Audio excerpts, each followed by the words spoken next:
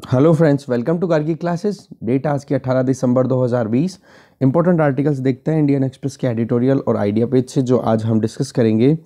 Editorial page पे हम पहले आर्टिकल डिस्कस करेंगे spectrum of choice four G spectrum option अब स्टार्ट होने वाला है तो उसके बारे में पूरी डिटेल जानेंगे, क्या है पूरा मुद्दा, किस तरीके से पूरा प्रोसेस जाएगा।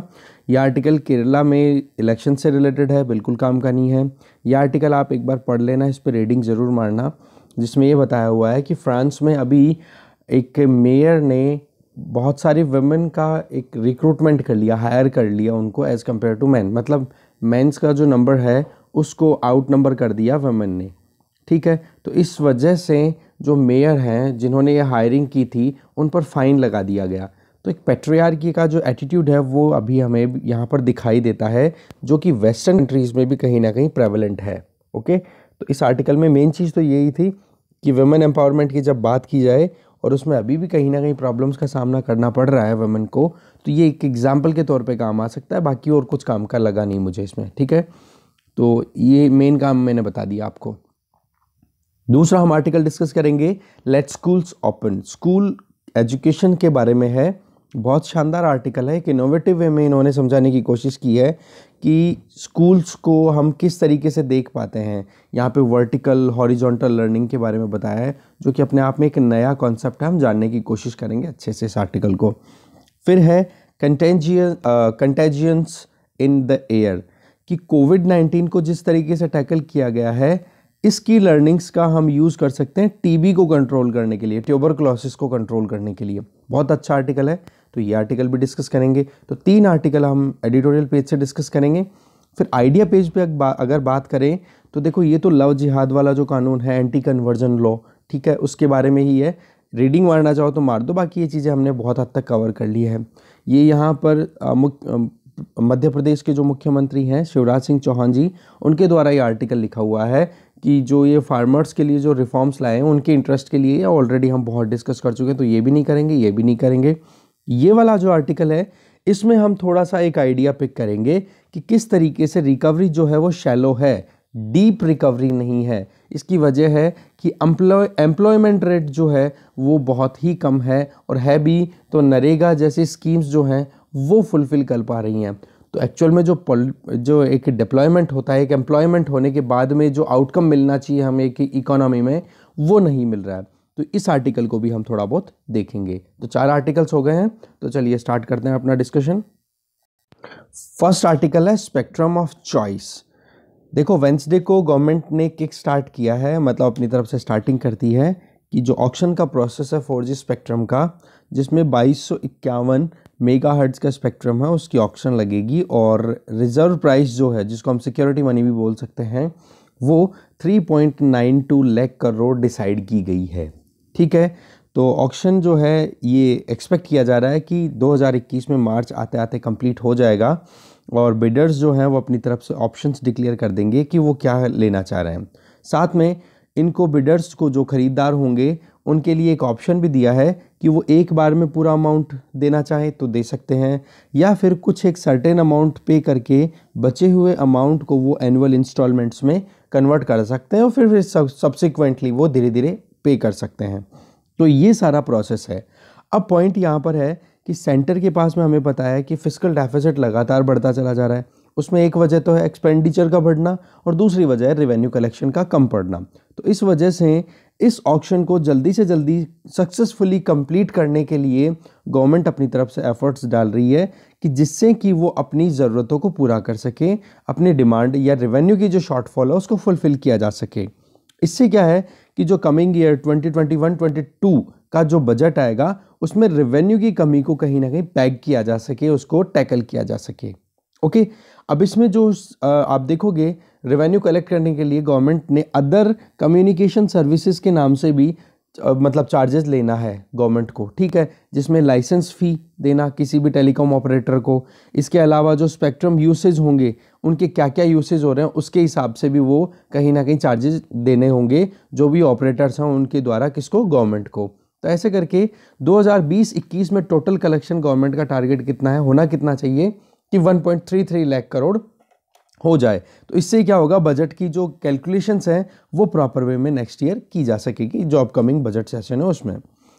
अगर हम इससे थोड़ा सा और इतर जा करके देखें तो देखो ऑक्शन को लेकर के जितना कुछ एंथुजियाज़म दिखाया जा रहा है कि हाँ वाकई कुछ होगा बट पॉइंट यहाँ पे आ जाता है कि ये इतनी ज़्यादा हाई रिज़र्व प्राइस आपने रखी है ना 3.92 लाख करोड़ ये कहीं ना कहीं थोड़ा बहुत डिस्करेज करेगी बिडर्स को। क्योंकि प्रीवियस एक्सपीरियंस ये कहता है कि जब भी रिज़र्व प्राइसेस को ज़्यादा रखा गया है, तब पुअर आउटकम मिला है ऑक्शंस का। ठीक है, प्रीवियस ऑक्शन की अगर बात करें, जो हुआ था 2016 में तो उसमें गवर्नमेंट ने तेईस मेगा हर्ट्स का जो स्पेक्ट्रम था, उसकी ऑक्शन लगाई गई थी और पता पड़ा कि केवल 40 परसेंट स्पेक्ट्रम ही सेल हो पाया था, क्योंकि रिज़र्व प्राइस थी, सिक्योरिटी मनी थी, वो बहुत ज़्यादा थी। ठीक है, और रही सही में हमें पता है जो एडजस्टेड ग्रोथ ग्रोस रेवेन्यू जिसके केस के चक्कर में अभी भारतीय एयरटेल और वोडाफोन आइडिया जो है, वो कहीं ना कहीं क्राइसिस का सामना कर रहे हैं। तो उनके पास में तो वैसे ही पैसे की शॉर्टेज है। वैसे मैं आपको बता दूँ ट्राई ने रिकमेंड किया था कि रिज़र्व प्राइस जो है, वो 5.22 लाख करोड़ रखे जाएँ। बट गवर्नमेंट ने इसके ऊपर रिव्यू किया, क्योंकि ये जो एयरटेल है और वोडाफोन आइडिया है, इन्होंने रिक्वेस्ट दायर की थी कि हम फिर इस बिड में हम पार्टिसिपेट नहीं कर पाएँगे, अगर आप इस तरीके से इतने ज़्यादा प्राइसेस रखोगे, क्योंकि हमें ऑलरेडी एजीआर जो ऑब्लिगेशन हमारे ऊपर, जो सुप्रीम कोर्ट ने वर्डिक दिया था, उसको हमें रीपे करना पड़ा री के रीपे कर रहे हैं हम लोग तो हमारे पास में पैसा नहीं है इतना ज़्यादा। ठीक है? तो इससे क्या रिज़ल्ट हुआ? अल्टीमेटली गवर्नमेंट को ये जो हाई प्राइस 2016 में रखी गई ना, इसका रिज़ल्ट हुआ कि सड़सठ हज़ार सात सौ नवासी, ठीक है, इतने करोड़ रुपए ही उनको मिल पाए। तो टेलीकॉम कंपनीज़ जो है ना वो देखो उनको लाइसेंसेस के लिए भी पे करना पड़ता है। अब वो लाइसेंस जो है टेलीकॉम कंपनी कंपनीज़ के, वो देखो 2021 में अभी एक्सपायर हो जाएँगे। तो उसके लिए उनको क्या करना पड़ेगा? रिन्यू भी करवाना पड़ेगा तो उसके लिए भी कहीं ना कहीं ज़्यादा पैसे देने पड़ेंगे। तो ये जो एग्जिस्टिंग गैप्स है ना, कि जो डिमांड कहाँ है, किस तरीके से पूरी फुलफ़िल की जा सकती है, देखो गवर्नमेंट को तो पैसे की ज़रूरत है, जो ये कंपनीज़ है, इनको चाहिए स्पेक्ट्रम तो इनको अगर फुलफ़िल कर दिया जाए, अगर कॉम्प्लीमेंट कर दें अल्टीमेटली कंज्यूमर के लिए भी बेनिफिशियल रहेगा और मार्केट फोर्सेस के लिए भी सही काम करेगा। ठीक है? डिमांड की अगर बात करें तो आप देखोगे जिस तरीके से हाई प्राइस्ड बैंड्स की अगर बात करें तो वहाँ पर अनसर्टेनिटी अपने आप आ जाती है, महँगाई बढ़ती है तो वही बात है, हमारे भी नॉर्मल देखते हैं। तो यहाँ पर एक एग्ज़ाम्पल देख करके बता रहे हैं कि 700 मेगा के बैंड का अगर हम एग्ज़ाम्पल लें, ठीक है, जो कि मोर एफिशिएंट है, इससे ज़्यादा फ्रिक्वेंसी वाले जो भी बैंड्स हैं अदर बैंड्स की बजाय। ठीक है? क्योंकि ये अपने आप में प्रोपोगेशन कैरेक्टरिस्टिक्स बड़ी अच्छी देता है। अब इसमें एक चीज़ मैं बता देता हूँ। हर्ड्स का जो है, ये तो होती है देखो फ्रीक्वेंसी कल मैंने बता दिया था ये कॉन्सेप्ट वैसे अगर आपको पता ना हो तो फ्रीक्वेंसी क्या होती है नॉर्मली कि कोई भी वेव है फॉर एग्जांपल ये वेव है तो इस वेव में, यहाँ से लेकर के यहाँ तक का ये जो सेगमेंट है, इसको एक साइकिल बोला जाता है। तो एक सेकंड में कितने साइकिल्स पास हो रहे हैं? ठीक है? तो वो हो जाती है इसकी फ्रीक्वेंसी और ये जो लाइन है एक्सिस इससे जो अपर पोर्शन है, ये जो डेविएशन है, इसको बोला जाता है एम्पलीट्यूड ठीक है? एम्पलीट्यूड एक सिग्नल की स्ट्रेंथ को शो करता है। तो इस तरीके से प्रोपोगेशन कैरेक्टरिस्टिक्स मतलब 700 मेगाहर्ट्ज का अगर कोई सिग्नल होता है तो वो अच्छे से प्रोपोगेट कर पाता है, क्योंकि हमारे यहाँ पर जो कुछ भी सरकमस्टांसेज हैं एनवायरमेंटल कंडीशंस हैं, उनमें, उनको हिसाब से अगर देखें तो। तो इस तरीके से ऑल इंडिया में अगर इसका पूरा वो होता है ऑप्शन या फिर बिक जाता है तो पैंसठ अड़सठ करोड़ रुपए गवर्नमेंट के हाथ में आ जाते हैं। बट इसमें आप 2016 में देखोगे तो ओवरऑल तैंतालीस परसेंट ही मतलब ओवरऑल 43 परसेंट की कमी आई थी, जितना ऑप्शन होना था, उससे तैंतालीस परसेंट तक की कमी आई थी। तो इसकी वजह से गवर्नमेंट के पास में बहुत कम पैसा आ पाया था। और प्राइसेज अगर ज़्यादा होती है तो देखो बिडिंग के लिए भी कोई अट्रैक्शन ज़्यादा फील करता नहीं है। टेलीकॉम ऑपरेटर्स की अगर बात करें तो वो कंप्लेन कर रहे हैं इस चीज़ के लिए बार बार कि हाई रिज़र्व प्राइस मत रखो। ठीक है? और होता क्या है, फिर बाद में जब मान लो ये जब दो तीन जने एक साथ लगते हैं कंपटीशन में तो उसका रिज़ल्ट क्या निकलता है कि मान लो ये है एक कोई पर्टिकुलर गुड ठीक है, या स्पेक्ट्रम जिसकी प्राइस होनी चाहिए पाँच रुपये ठीक है? अब ये खरीदने वाले चार जने हैं ए बी सी डी अब इनके बीच में कंपटीशन लग गया और कंपटीशन लगते लगते पता पड़ा कि डी ने इसको फाइनल कर दिया, और जब फाइनल किया तो पता पड़ा कि डी इसके लिए पे कर रहा है रुपए दस तो इसमें क्या हो गया? कंपटीशन तो जीत गया बिल्डिंग तो जीत गया डी बट अल्टीमेटली जो इस, जो पर्टिकुलर ये चीज़ थी, इस चीज़ का जो इंट्रेंसिंग वैल्यू थी वो तो पाँच रुपये ही थी ना, पर देना कितना पड़ेगा अब डी को? क्योंकि ऑप्शन दस रुपये पे पहुँच गई है। तो इसको बोलते हैं विनर्स क्रश विनर्स कर्श ठीक है? कि जब इंट्रेंसिक वैल्यू से भी ज़्यादा पैसा देना पड़े तो ये भी कहीं ना कहीं प्रॉब्लम का कारण बन जाता है। फिर वो घाटे में तो ऑलरेडी है ही। और फिर ऑप्शन को फाइनलाइज करने के चक्कर में फिर वो कंपटीशन बढ़ते बढ़ते जो इंट्रेंसिक वैल्यू है उस स्पेक्ट्रम की, उससे ज़्यादा पे करना पड़ जाता है उस बिड उस बिड को जीतने वाले के द्वारा।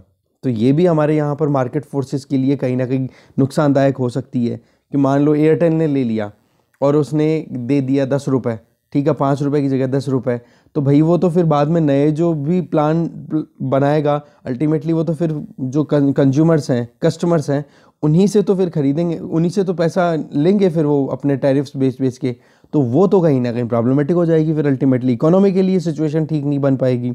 दूसरा, अगर इस तरीके से ही हाई प्राइस रही रिजर्व्स की हाई रिज़र्व प्राइस रहा तो उस केस में जो सबसे ज़्यादा पैसे वाला होगा वो डोमिनेट करेगा। फॉर एग्ज़ाम्पल जियो अगर वो डोमिनेट करेगा तो फिर बाद में सिंगल प्लेयर आने के बाद में तो आप समझ सकते हो, वो डेट्रीमेंटल हो जाएगा कंपटीशन के लिए भी और कंज्यूमर्स के लिए भी। ठीक है? इसको मैं, इसमें आपको एक छोटा सा एग्ज़ाम्पल बताना चाहूँगा कि मान लो एक पर्टिकुलर एक बंदा है, ठीक है? जैसे जियो ने शुरुआत की थी, ठीक है? तो जियो वाल, जियो की बात करें, कोई भी कंपनी की अगर बात करें तो वो इस तरीके से कर सकते हैं। मानो कि भाई खाना फ्री में मिल रहा है, जितना खाना है खाओ। खाना भी सबने शुरू कर दिया, पेट भर के खा लिया, बोले रेस्ट भी कर सकते हो, आराम से कोई प्रॉब्लम नहीं है। और फिर उसके बाद में जब सुबह फ्रेश होने का टाइम आया तो बोला कि टॉयलेट चार्जेस हैं भाई तीन सौ रुपये पर हेड। रिकवर हो गया ना एक सेकंड में तो ये प्रॉब्लम हो जाती है। ठीक है? तो इस तरीके से आप देख सकते हो डिपार्टमेंट ऑफ़ टेलीकम्युनिकेशन जो है, वो इस चीज़ पे 4G ऑप्शन तो अब मार्च तक कंप्लीट होने के स्कोप दिख रहे हैं, बाकी देखते हैं होता है क्या। बाकी 5G स्पेक्ट्रम को भी फाइनलाइज करना भी बाकी है, क्योंकि आप देख सकते हो कि एक क्लैरिटी जब तक नहीं आएगी तो अब आने वाले टाइम पे 5G स्पेक्ट्रम भी अपने आप में इंपॉर्टेंट रोल प्ले करने वाले हैं। टेक्नोलॉजीज़ डेवलप हो रही हैं। कंपटीशन चल रहा है मार्केट में, ठीक है? तो वो चीज़ भी कंप्लीट होना चाहिए। और गवर्नमेंट इस चीज़ के लिए टाइमलाइन कहीं ना कहीं अभी फाइनलाइज करने में थोड़ा सा डिले कर रही है बट वो डिले ज़्यादा नहीं होना चाहिए, ठीक है? और अप्रोच जो है उसमें यही कहीं ना कहीं ये देखने की ज़रूरत है कि रेवेन्यू मैक्सिमाइजेशन की जगह सेक्टर वेलफेयर को भी ध्यान में रखने की ज़रूरत है, ठीक है? नेक्स्ट आर्टिकल देखते हैं। नेक्स्ट आर्टिकल है let schools open Amit Ajit Mishra के द्वारा लिखा हुआ ये आर्टिकल है। देखो, ये अपने आप में बहुत ही ठीक है कि चलो ठीक है, हम पढ़ रहे हैं अभी कि स्कूल्स फिर से खोली जा रही हैं कुछ स्टेट्स में। और कुछ स्टेट्स अब प्लान भी कर रहे हैं कि हाँ खोल देना चाहिए। बट आप देखते तो फिर भी लगातार कहीं ना कहीं अप्स एंड डाउन्स बनते रह रहे हैं। कभी लॉकडाउन कभी अनलॉक हो रहा है, कभी कुछ स्टार्ट हो रहा है, कभी रुक रहा है, चाहे बिज़नेस हो, चाहे सोशल स्वेयर हो, हर जगह पे। आप मोबिलिटी के बारे में भी देख लो कहीं पे कोई C R P C one forty four लग रहा है तो कहीं पे क्या? तो ये एक कांस्टेंट फीचर सा बना हुआ है और इसकी मार हम स्कूल के बंद होने पर तो लगातार देख पा रहे हैं। ठीक है? और इसके जो कॉन्सिक्वेंसेज है ना, हो सकता है अभी ना दिखाई दें इमीडिएटली ना दिखाई दें बट लॉन्ग टर्म में हमें कहीं ना कहीं इसकी परेशानियों का सामना करना पड़ेगा। ठीक है? तो आप देख सकते हो कि जब से नेशन वाइड लॉकडाउन लगा था हमारे यहाँ पे, तब से स्कूल्स सबसे पहले बंद होने वाले इंस्टीट्यूशंस में थे और अब, अभी तक आप देखोगे बहुत सारे बिजनेसेस की एक्टिविटीज़ शुरू हो गई हैं बट स्कूल्स अभी भी नॉर्मल फंक्शनिंग में नहीं आ पाई है। तो ये जो चीज़ है ना, इस चीज़ को हमें एड्रेस करने की ज़रूरत है। बहुत सारे स्टेट्स ने अटैम्प्ट भी लिया है कि स्कूल्स को ओपन किया जाए। कुछ लिमिटेड सक्सेस तो मिली उनको बट वही बात है कि फिर से वायरस की एक वेव आ गई और बंद करना पड़े, पड़ गया स्कूल्स को। देखें आप चाहे कुछ एंट्रेंस टेस्ट की एग्ज़ाम दे लो या फिर कुछ ऑप उप, कुछ ऑप्शनल अटेंडेंस की बात कर लो कि हाँ कुछ स्टूडेंट्स आ गए उनको दूर दूर बिठा करके स्कूल में पढ़ाई करवा दी तो वो भी कहीं ना कहीं आप देखोगे तो उसमें भी स्कूल का डिस्टेंस कितना है घर से वो मैटर करता है। अगर घर से आसपास में स्कूल है तो तो बच्चे आराम से पहुँच जाते हैं बट दूर से आने वाले बच्चों के लिए वो भी कहीं ना कहीं दुशवार हो गया था कि वो स्कूल पहुँच पाएँ। ठीक है? आप देखोगे अभी भी हमें बहुत सारे ऑब्स्टेकल्स का सामना करना पड़ रहा है कि जिस तरीके से अभी लोकल इन्फेक्शंस देखे जा रहे हैं, जो सेकेंड और थर्ड वेव आ रही है इन्फेक्शंस की, ठीक है? उसकी वजह से बहुत सारी परेशानियाँ लगती चली जा रही हैं। तो अभी भी हमें कहीं ना कहीं एक परेशानी भी है, एक आशा भी है कि अथॉरिटीज़ कुछ करेंगी पेरेंट्स को कहीं डर भी है कि कहीं बच्चे इन्फेक्टेड ना हो जाए। तो अब कुछ फंडामेंटल पॉइंट्स हैं, उन पर हमें ध्यान देने की ज़रूरत है। सबसे पहली बात क्या स्कूल को हम असेंशियल एक्टिविटी कंसिडर करते हैं कि जो वाकई में बहुत ही ज़्यादा ज़रूरी है? अगर असेंशियल कनेक्ट एक्टिविटी होती तो इनके बारे में अभी तक बात क्यों नहीं की जा रही है? देखो रिलीजियस फेस्टिव्स की बात कर रहे हो सोशल एक्टिविटीज़ की बात कर रहे हो, बहुत सारी रैलीज निकल रही हैं। मार्केट देखो क्राउडेड हो चुके हैं रोड्स बिज़ी हो गई हैं, उसके बावजूद स्कूल्स बंद पड़ी हैं। तो क्या हमने वाकई में असेंशियल एक्टिविटी कंसिडर कर रखा है स्कूल को? नहीं ना? तो ये ध्यान देने की ज़रूरत है। जीडीपी ग्रोथ रेट की बात कर ली, कितने हमने आर्टिकल्स देख लिए। बट स्कूल और एजुकेशन की जब बात करें ना, अभी तक हमने इस पर ध्यान नहीं दिया है। जबकि हमें पता है कि एजुकेशन सिस्टम अगर प्रॉपर रहेगा स्कूलिंग अगर बच्चों की अच्छी रहेगी तो लॉन्ग रन में लॉन्ग रन में डेवलपमेंट और ग्रोथ को इंश्योर करने में कोई प्रॉब्लम नहीं आती है। पिछले नौ महीने की अगर बात करें तो ह्यूमन इंटरेक्शन रियल वर्ल्ड में बहुत ही कम होता चला गया है, जो कि अपने आप में बहुत इंपॉर्टेंट रिसोर्सेस रिसोर्स की तरह कंसिडर किया जाता है। रही सही में आप देखोगे कि इस पैंडेमिक की वजह से इंटरेक्शन भी कब हो रहा है कि आपने प्रायोरिटी डिसाइड कर ली कि हाँ बहुत ही ज़रूरी काम है तो बाहर निकलेंगे, फिर बातचीत करेंगे किसी से। तो ये एक्टिविटी जो है सोशल इंटरेक्शन वो और भी कम हो गई। बहुत सारी अलग अलग सोसाइटीज़ की बात करें तो उन्होंने अलग अलग तरीके से इससे रिसोर्स को यूटिलाइज किया है, किसको? सोशल इंटरेक्शन को। ठीक है? यूरोपियन मॉडल की अगर बात की जाए तो यूरोपियन कंट्रीज़ ने, चाहे लॉकडाउन भी लगाना तो भी देखो स्कूल्स उनकी लगातार चलती रही है। डेनमार्क और नॉर्वे अपने आप में बहुत ही इंपॉर्टेंट एग्ज़ाम्पल है, जिन्होंने अप्रैल और मई से ही अपनी स्कूल्स को बंद नहीं रखा। कैसे भी करके अपनी स्कूल्स को कंटिन्यू रखा। न तो वहाँ पर सेकेंड वेव आई, न थर्ड वेव आई मतलब प्रॉपर मेंटेन रखा गया उनको। सोशल डिस्टेंसिंग और जो भी सैनिटाइजेशन या जो भी प्रॉपर वे में, एकदम हाइजीनिक वे में मेंटेन किया जा सके। यूके जर्मनी की बात करें तो इन्होंने अगस्त, सितंबर में आते आते अपनी स्कूल्स को ओपन कर दिया और वो स्मूथली काम भी कर रही है। हाँ बीच में कई बार टेम्परेली बंद कर दिया, पर फिर भी उन्होंने ऐसा नहीं कि परमानेंट ही बंद कर दिया हो। इसी तरीके से जर्मनी ने डिपेंडेंसी किस पे दिखाई? मास टेस्टिंग पे कि हाँ ज़्यादा से ज़्यादा टेस्टिंग कराई जाए और उससे क्या है? चेक किया जाए कि हाँ वाकई में कौन कितना ज़्यादा वलनरेबल है। स्कूल्स की रीओपनिंग की अगर बात करें तो देखो आप, हमें ये तो ध्यान है कि हाँ इन्फेक्शंस बहुत सारे हो सकते हैं बट इनको हम टैकल भी तो कर सकते हैं, इनके ऊपर हम काम भी तो कर सकते हैं ना। ठीक है गवर्नमेंट और स्कूल अथॉरिटीज़ को इसके लिए थोड़ा बहुत काम करने की ज़रूरत है, और उसके लिए कहीं ना कहीं जो वेस्टर्न कंट्रीज़ हैं, उनकी गवर्नमेंट और अथॉरिटीज़ को इसके लिए क्रेडिट भी जाता है। यूके ने अभी second nation wide lockdown impose किया था नवंबर के फ़र्स्ट वीक में। बट आप देखो स्कूल्स को बंद करने की बात नहीं की थी, बोले स्कूल्स तो कंटिन्यू रहेगी। जबकि नॉन असेंशियल बिज़नेस हैं, वो बंद हो जाएँगे। तो यहाँ पर क्लैरिटी आती है ना कि यूरोप में स्कूलिंग को असेंशियल एक्टिविटी की तरह कंसिडर किया जाता है। तो ये ही चीज़ हमें यहाँ पर लर्न करने की ज़रूरत है। इसके अलावा हम अगर चले देखो कंपैरिजन वैसे तो इतना फेयर नहीं है, क्योंकि हम कोई कहेगा कि वेस्टर्न सोसाइटी जो है वो डेवलप्ड है। बट फिर भी हम कुछ ना कुछ चीज़ें तो देख ही सकते हैं जो हम यहाँ पर अप्लाई कर सकते हैं। देखो, हमारे यहाँ स्कूल्स को सपोर्ट अगर देखें, या फिर बजट की अगर बात करें तो हमारे यहाँ पर स्कूल्स के लिए फंडिंग भी इतनी ज़्यादा नहीं मिलती है। एक तो ये बात हमें पता होना चाहिए। दूसरा, कि जो एग्ज़ाम्पल्स हैं, जो हमने बहुत सारे वेस्टर्न कंट्रीज़ के एग्ज़ाम्पल देखे उन्होंने भी अपनी स्कूल्स ओपन रखी तो हम कह सकते हैं कि हाँ डेवलप्ड कंट्री है इसलिए। बट एक एक बात ये तो हम कंसिडर कर ही सकते हैं ना कि स्कूल एक असेंशियल एक्टिविटी है तो अटमोस्ट प्रायोरिटी पे तो एटलीस्ट रख ही सकते हैं ना कि बच्चे कम से कम अपनी पढ़ाई को तो लूज ना करें। कोई और तरीके निकाले जा सकते हैं जिनमें उनकी पढ़ाई कंटिन्यू बन सके। यूके के एजुकेशन मिनिस्टर हैं, उन्होंने बड़ी क्लियरली बोला कि एजुकेशन की कंटिन्यूटी जो है, वो हमारे नेशनल की हमारे देश की प्रायोरिटी है. That means continuity of the of education is a national priority तो ये जो चीज़ है ना, ये कहीं ना कहीं बहुत इंपॉर्टेंट है. इवन यूके की गवर्नमेंट ने थ्रेटन भी करना शुरू कर दिया था लोकल गवर्नमेंट्स को लोकल काउंसिल्स को, कि अगर आपने स्कूल बंद किया तो ठीक बात नहीं होगी. तो ये जो चीज़ है ना क्लियरली समझाती है कि वाकई में एजुकेशन को वेस्टर्न कंट्रीज़ ने पर्टिकुलरली स्कूलिंग को असेंशियल एक्टिविटी कंसिडर कर रखा है. ठीक है? अब इस इंटेंट के अलावा हमें और भी चीज़ों पर देखने की ज़रूरत है कि इंडिया का क्या केस है। देखो, हमारे यहाँ पर average distance travel by student अगर देखें, एक स्टूडेंट एवरेज निकाली जाए तो स्कूल के लिए कितनी दूरी तय करनी पड़ती है उसको तो वो थोड़ी ज़्यादा है। दूसरा स्कूल्स में जो स्टूडेंट्स की पॉपुलेशन है, उसकी डेंसिटी भी बहुत ज़्यादा है, क्योंकि नंबर ऑफ़ स्कूल्स बहुत कम है। तो ये भी कहीं ना कहीं हमारे लिए थोड़ा सा कंसर्निंग और डिफ़िकल्ट हो जाता है कि किस तरीके से इन्फेक्शन के स्प्रेड को हम रोक सकते हैं। ठीक है? क्योंकि पॉपुलेशन ऑफ़ स्टूडेंट्स बहुत ज़्यादा है डिस्टेंस ट्रेवल करना भी बहुत ज़्यादा तो वलनरेबिलिटी ज़्यादा हो जाती है इंडिया में। तो स्कूल्स में कुछ चेंजेस लाने की ज़रूरत है। क्लासरूम्स में कुछ अरेंजमेंट्स ऐसे करने की ज़रूरत है या फिर लंच आवर्स है, आप उनको एक बार थोड़ा सा एक यूँ कर सकते हो कि भाई एक मैनेजमेंट प्रॉपर हो कि हाँ सोशल डिस्टेंसिंग का फॉलो कर रहे हैं कि नहीं बच्चे। ठीक है? आप फ़िज़िकल स्पोर्ट्स का जो एक्टिविटीज़ है, एक बार उनको थोड़ा कंट्रोल कर सकते हो। बट एक वही चीज़ है लिमिटेड सोशल इंटरेक्शन के बेसिस पे हम तरीके से काम कर सकते थे इसका, ये पूरे ड्यूरेशन के टाइम पे। ठीक है? और अभी भी किया जा सकता है।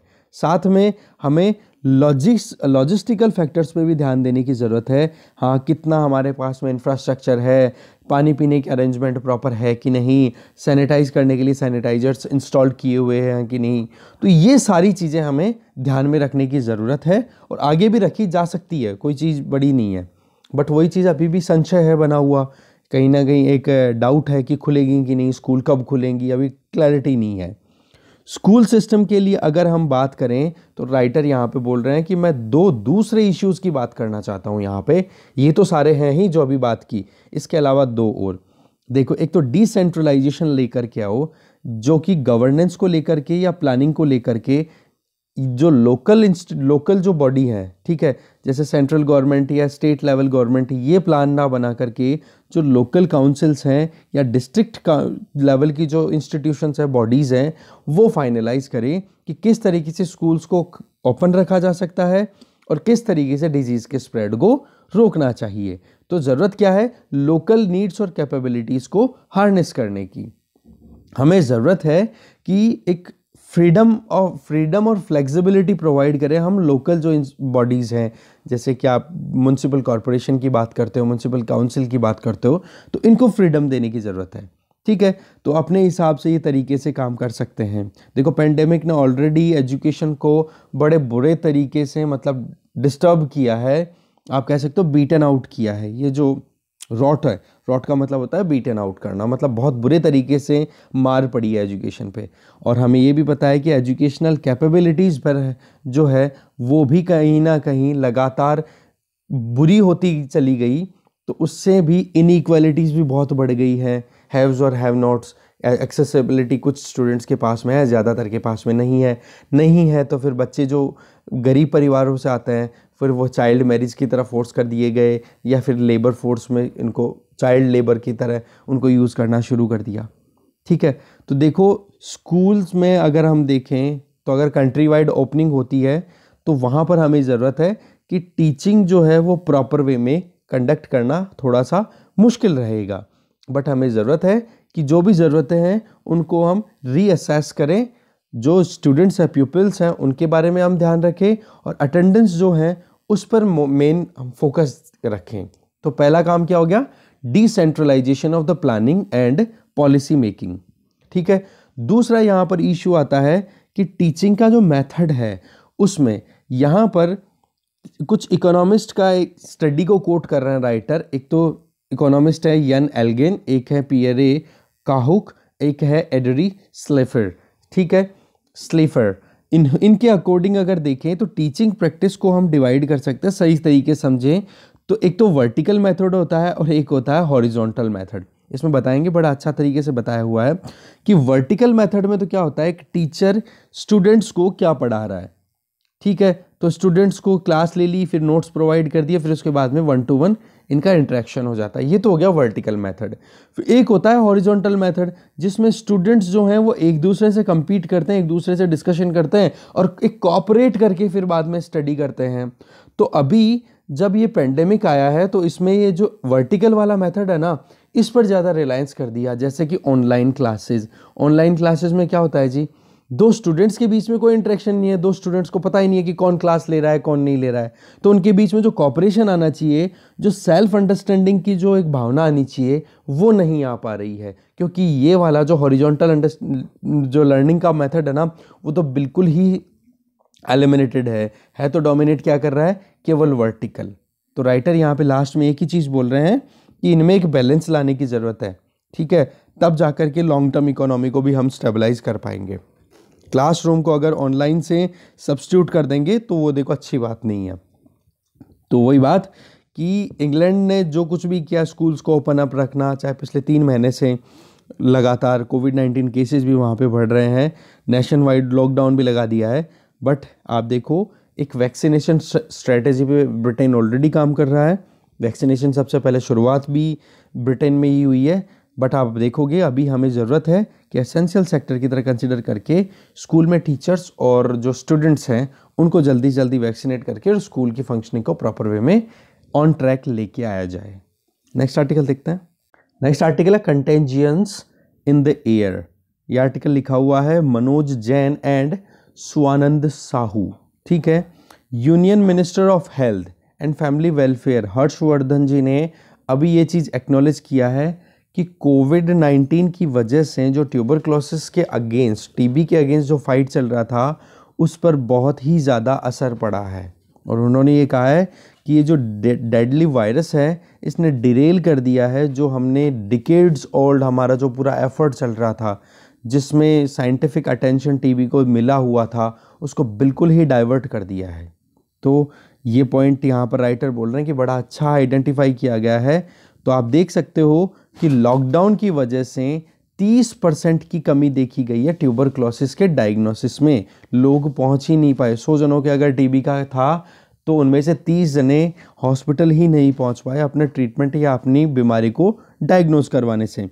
और अगर गवर्नमेंट के फिगर के हिसाब से देखें तो ये चीज़ है। और रिसर्चर्स का ये कहना है, एस्टिमेट लगाया है कि आने वाले पाँच सालों में लगभग 1.19 मिलियन टीबी के केसेज आएँगे और टोटली तीन लाख इकसठ हज़ार टीबी के पेशेंट्स की डेथ हो सकती है आने वाले पाँच सालों में।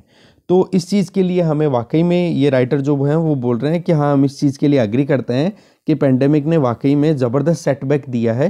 पर ये एक टेम्परेरी ही है, क्योंकि जो लर्निंग हम यहाँ पर देख रहे हैं कोविड नाइन्टीन की केस में, वो अनप्रेसिडेंटेड है। इस तरीके का एक्सपीरियंस हमारे को पहले कभी भी नहीं देखने को मिला कि किस तरीके से रेस्पिरेटरी एलिमेंट मतलब जो सांस से लेने वाली जो प्रॉब्लम होती हैं, उनको इस तरीके से एलिमिनेट करने के लिए काम किया जाएगा, जिसमें टीबी के लिए वैक्सीन बनने में आज दशकों बीत चुके हैं, अभी तक वैक्सीन नहीं बन पाया है, जबकि कोविड 19 के लिए नौ महीने के अंदर अंदर वैक्सीन डेवलप हो गया तो ये प्रैक्टिसेस हमारे लिए बड़ी काम की हैं।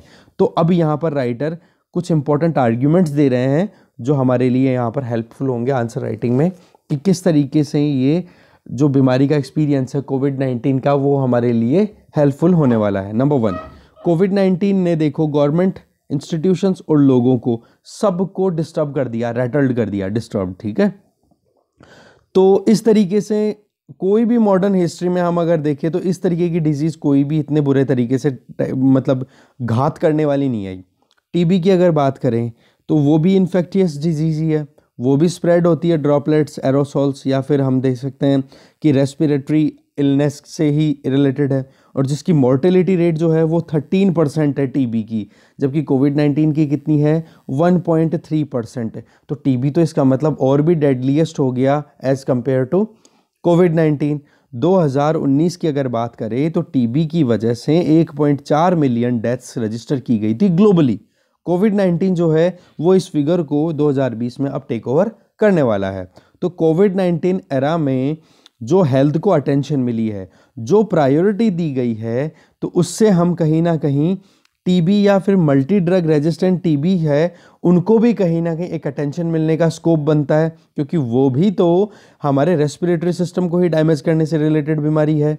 तो देख सकते हो कि एक ग्रेटर स्कोप बनता हुआ दिखाई दे रहा है, जहाँ पब्लिक गवर्नमेंट और पब्लिक जो है थोड़ा सा अलर्ट होने वाली है।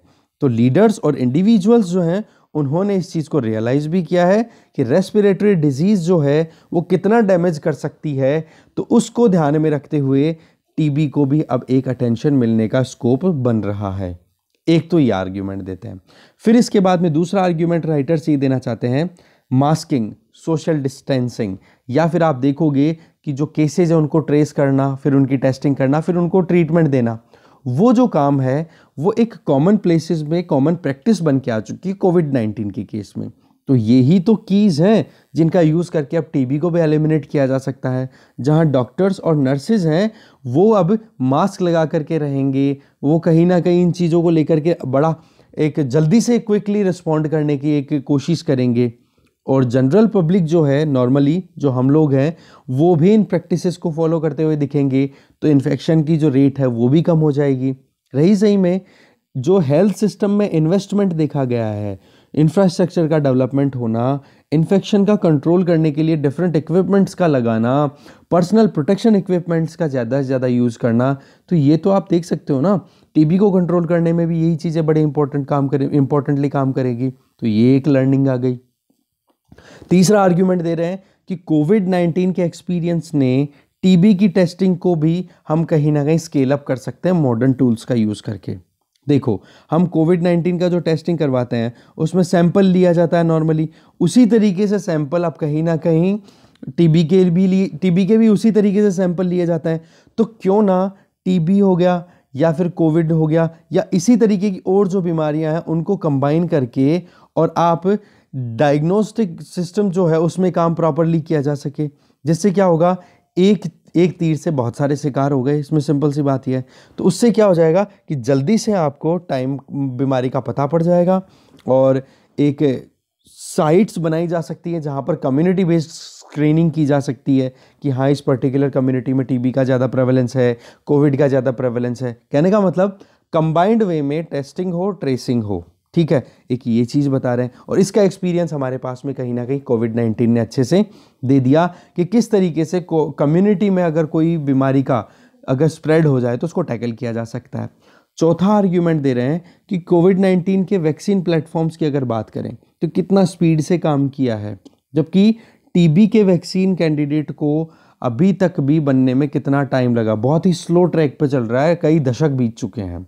ठीक है गवर्नमेंट ने डोनर्स ने या अफेक्टेड कम्युनिटी ने लगातार अपनी तरफ़ से एफर्ट किया और आप देखो नौ महीने के अंदर अंदर मिल गया आपने को वैक्सीन ओके तो इस तरीके से यही चीज़ हम टीबी पे भी अप्लाई कर सकते हैं। इससे क्या होगा क्विकली कहीं ना कहीं रिज़ल्ट मिल जाए क्योंकि अल्टीमेटली टीबी भी क्या है, एक रेस्पिरेटरी रिलेटेड डिज़ीज़ ही है, जो कि जो कि ड्रॉपलेट्स से या फिर एयरबोर्न डिज़ीज़ हम कंसिडर कर सकते हैं जिसको।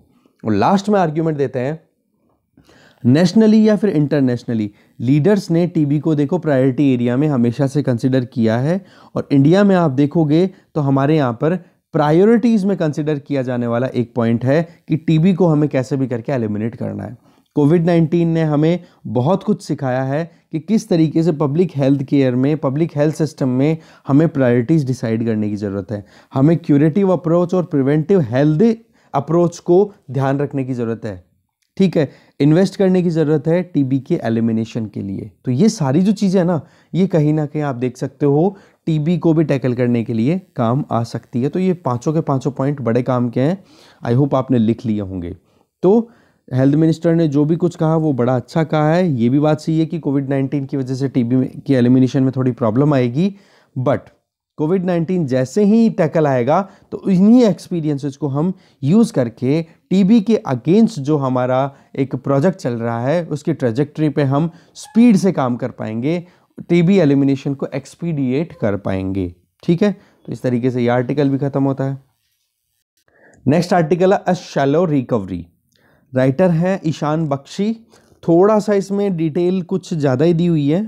काम काम की चीज़ें मैं पिक कर रहा हूँ। आप एक बार स्टडी कर लेना रीड आउट कर देना इसको, ठीक है?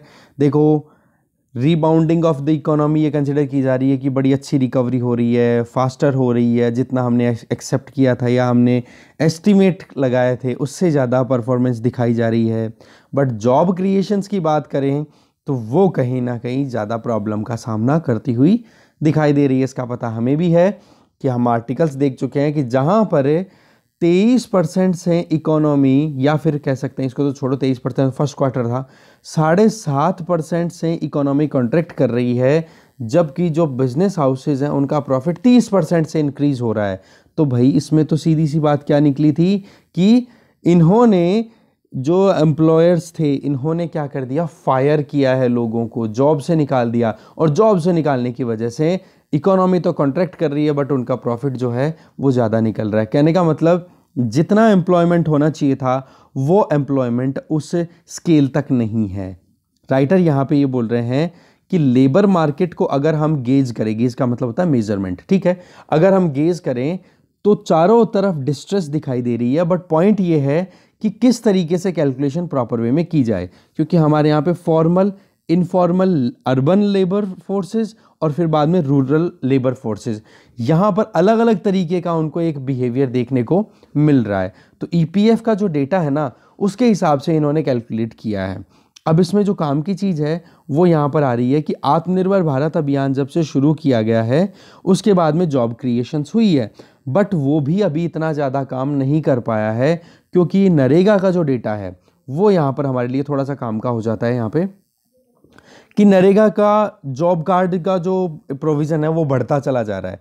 तो वो जो यहाँ से क्लियर हो रहा है ना कि नरेगा में जॉब ज़्यादा मांग रहे हैं लोग, इसकी वजह क्या हो सकती है? तो राइटर दो वजह बता रहे हैं कि एक तो देखो कि जो माइग्रेंट्स वापस अपने घरों पे पहुँच गए हैं, वो डिमांड कर रहे हैं जॉब की।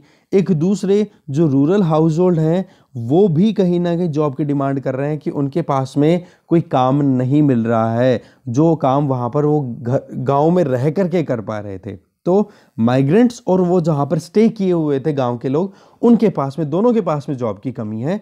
इसलिए नरेगा में जॉब की डिमांड आ रही है।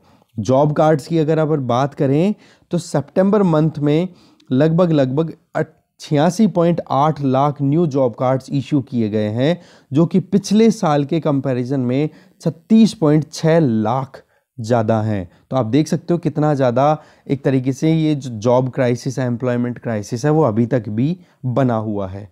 फिर इसी चीज़ को कंटिन्यू कर रहे हैं। बाकी और चीज़ें मुझे कुछ लगी नहीं इस आर्टिकल में। आप अपनी तरफ़ से एक बार रीडिंग ज़रूर मार देना। मैं इसको थोड़ा सेट कर देता हूँ स्क्रीन पे।